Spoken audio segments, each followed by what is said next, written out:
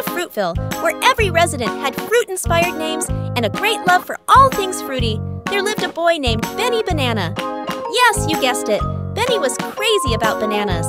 His room was filled with banana posters, banana plush toys, and even a banana-shaped bed. But more than anything, Benny loved to eat bananas, and he ate them with great enthusiasm and delight. One sunny morning, Benny woke up with a big grin on his face.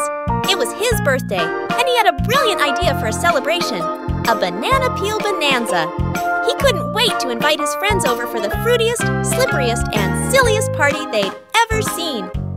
Benny dashed to the kitchen, where his mother had just made a big stack of banana pancakes for his special day. As she watched Benny gobble down his banana pancakes, she chuckled.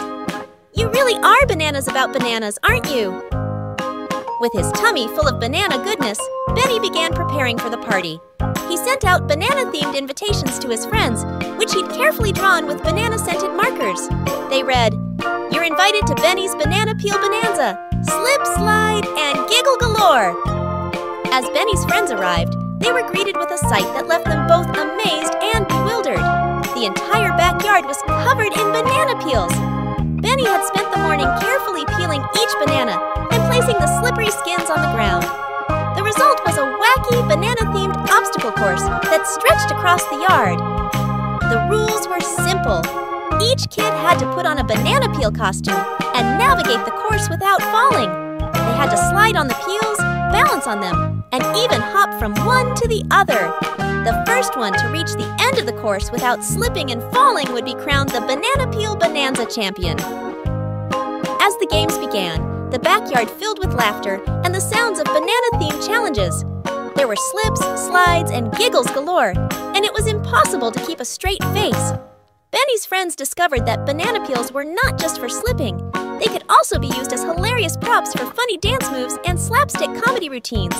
But as the kids reached the final stretch, it became a fierce competition.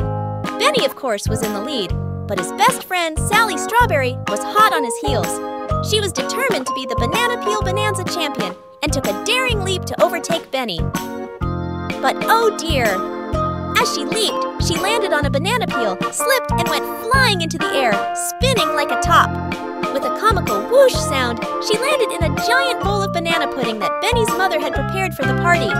As the kids rushed to help her, Sally burst into fits of laughter, realizing that the real prize was the fun they were having. With a splat and a smile, she declared, I may not be the champion, but I'm definitely the pudding queen. And so, the Banana Peel Bonanza continued, not as a competition, but as a day of silly, slippery, and unforgettable fun. Benny realized that the best part of his birthday was not being the champion, but sharing laughter and joy with his friends. As the sun set on Fruitville, everyone agreed that it had been a day filled with fruity adventures, great friendships, and the most entertaining use of banana peels they had ever seen. And from that day on, Benny continued to enjoy bananas. Also learned that the joy of sharing laughter with friends was the sweetest fruit of all.